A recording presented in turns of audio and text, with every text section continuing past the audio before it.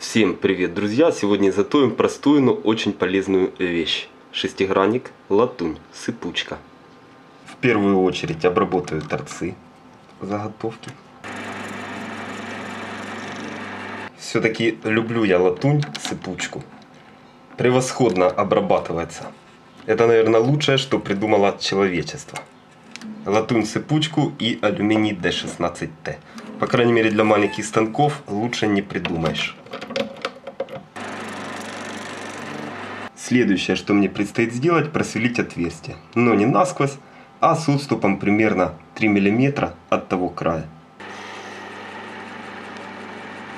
Чтобы отверстие получилось поточнее, сверлю несколько этапов. Каждый раз меняя сверло на сверло большего диаметра. Ну, я думаю, это понятно.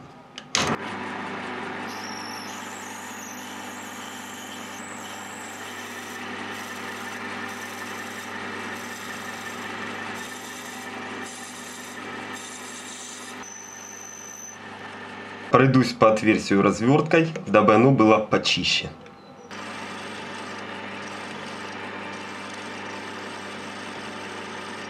А вот такая вот деталь получилась в результате. 8, здесь немножечко и 7.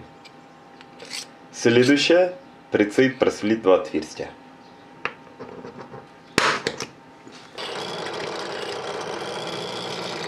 Таким образом, два отверстия 1,5 мм для последующей нарезки резьбы М2.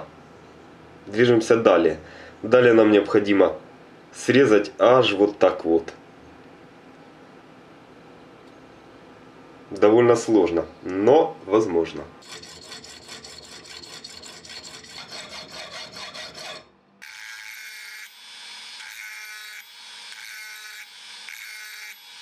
Вот такая вот деталь получилась пойдет. Теперь необходимо выточить такое нечто вроде грибка из горячо любимого мной латунного шестигранника. Зацентруюсь и подожму заготовку задней бабуленцией.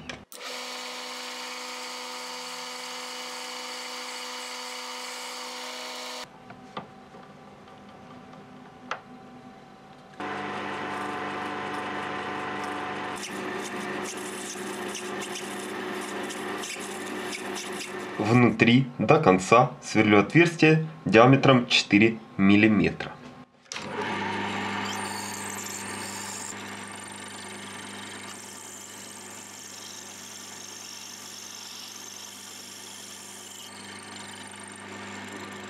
Вот такая вот деталь получилась. Гриб, он и есть гриб. И вовсе забыл, нам необходимо в этой детали пропилить паз. Вот такой вот.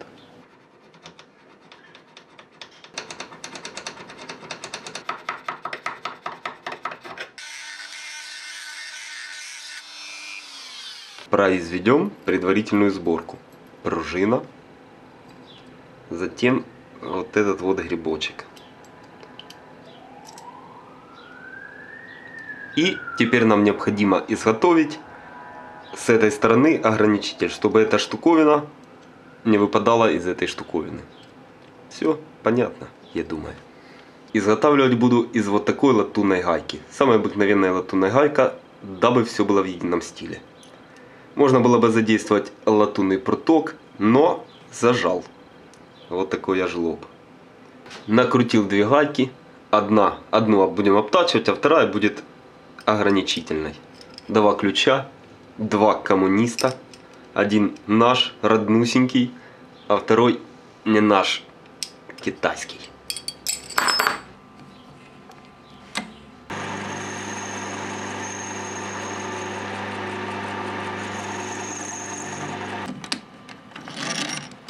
Снова два коммуниста плечом к плечу сотрудничают.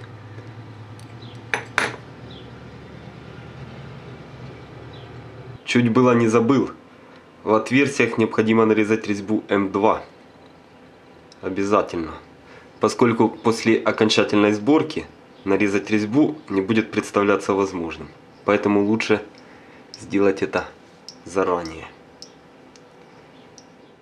Паяльник. Вот что потребуется дальше. Ну, а в то время, пока паяльник сохнет, произведем сборку. Пружина, толкатель и с этой стороны гайка. Гайка не накручивается, а запрессовывается. Вот так вот.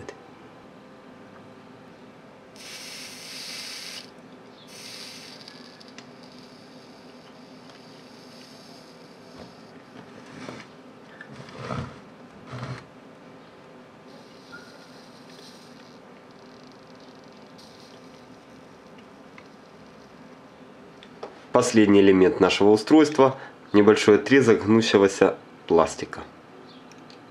Пластика-резина, я его называю. Винтами М2. Закреплен. Уверен, что кто-то уже стопудово догадался, что это за вещь. Ключ для патрона сверлильного.